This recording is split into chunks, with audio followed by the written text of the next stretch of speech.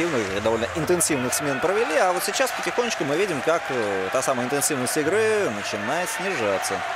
Холлес. Оставление на синий. Не будет здесь э, задержки игрока. Вновь Холлес и гол! Ошибка, ошибка Тобиаса Штефана и дальний бросок в ближний угол. Залетает шайба. Йонас Холлес, Колорадо Эвеланш. Э, Дебютный для него сезон национальной хоккейной лиге. И второй гол на этом турнире. Бросок получился классный, но вратарь за ближний угол должен отвечать. Тем более, В ближней и тем более раз- расстояние было приличное, да и угол довольно острый.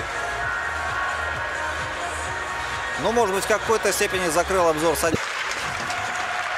Может быть, и несколько поспешным было это решение, но все равно с большим трудом Тобиас Штефан справился с броском. Да, Чуть больше 10 секунд остается у нас до сирены. Да, вы отмечали хорошие действия.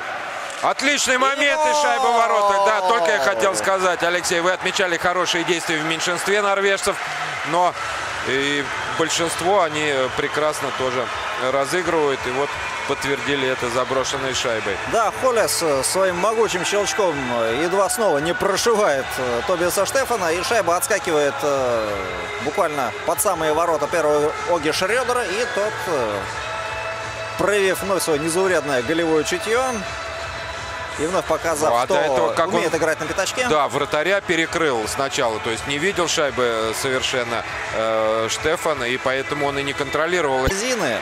Э, Швейцарцы просто не представляют, что им делать сейчас в большинстве. Нет, ну делают они в принципе то же самое, но э, для этого вот эти два игрока, которые на пятачке, они должны выигрывать эту шайбу, и все от них там зависит, но пока им это, этого не удается.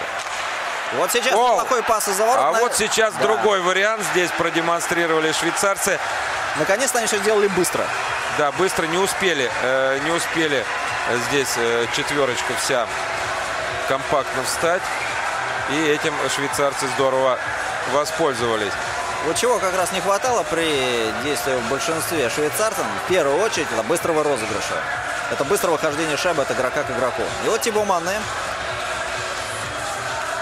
открывает счет швейцарским голам в этой встрече. Хорошо бросил в самую паутинку, в дальнюю. Бросил просто здорово.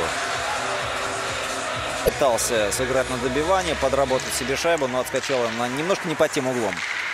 Холтед. Ну, Вот здесь 2 в 1 убежит. Норвежец нет, догоняет его швейцарцу. Тем не И менее, Тем не менее, на себе протащил Холтед и будет гол! Фактически, да, Холтед. вот так и... норвежцы поймали соперника и на контратаке. гол.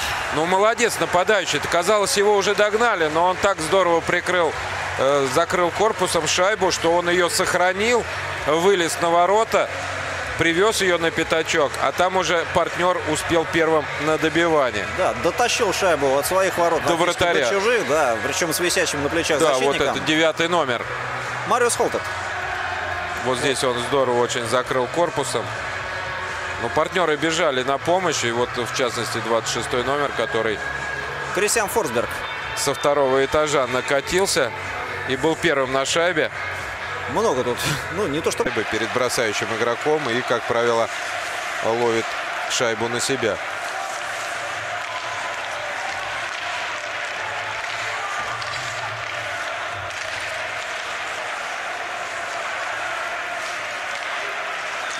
И гол! Гол. Все-таки Диас изыскал щелочку.